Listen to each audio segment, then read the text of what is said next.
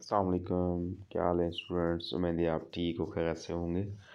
Dear students आज मैं आपके लिए इंग्लिश के मोस्ट इंपॉर्टेंट एम लेके आया हूँ। चाहे वो आपका पंजाब रिसर्च कमीशन हो, या एफ़ पी एस सी हो, या यू पी एस सी हो, या कोई और एग्ज़ाम हो तो ये हर एग्ज़ाम के लिए मोस्ट इंपॉर्टेंट क्वेश्चन हैं। हर एग्ज़ाम ही इंग्लिश तो वही होती है। ठीक है, एक ही लैंग्वेज है तो आपको इस पर फोकस देना चाहिए और इसको अच्छी तरह से सुने। तो सबसे पहला क्वेश्चन है he is stronger than any dash man तो देखें, जब भी ऐसा आ जाए देन वाला तो एनी अदर होता है एनी नन नहीं होता एनी वन मैन नहीं होता एनी अदर मैन होता है तो अदर आएगा।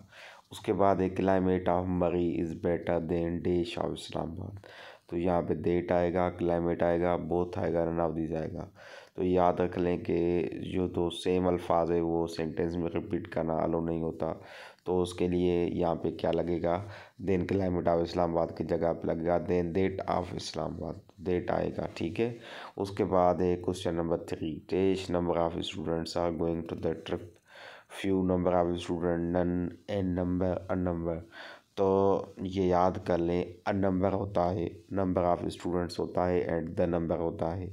ठीक है, जब भी द नंबर आ जाएगा द नंबर ऑफ़ स्टूडेंट फिर इज़ लगेगा। अगर अ नंबर ऑफ़ स्टूडेंट्स आएगा तो फिर आएगा आर लगेगा। लेकिन यहाँ पे आर लगा हुआ हुआ है तो ये पूछ रहा है कि यहाँ पे क्या आएगा तो अ आएगा। और नीचे जो क्वेश्चन नंबर फोर है, उसमें भी यही बात है कि the number of soldiers at the border तो इज़ आएगा क्योंकि द नंबर है। जब भी द नंबर होगा तो सिंगुलर वर्ब होगा, जब अ नंबर होगा तो प्लूरल वर्ब होगा।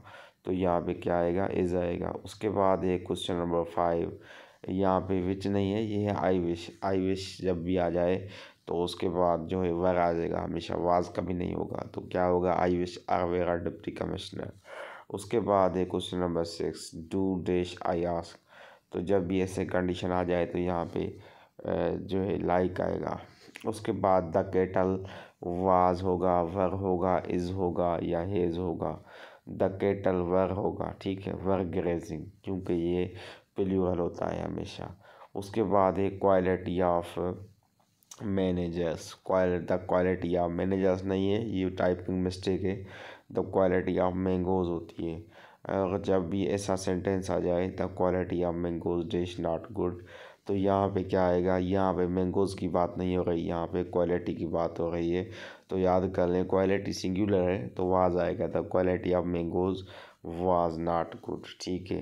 तो स्टूडेंट्स आज के लिए इतना ही काफ़ी है। इंशाल्लाह नेक्स्ट वीडियो बनाऊँगा।